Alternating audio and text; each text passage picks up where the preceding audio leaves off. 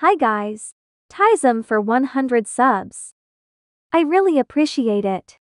Anyways, I'm celebrating and I'm really happy. So I just wanted to say Tizem.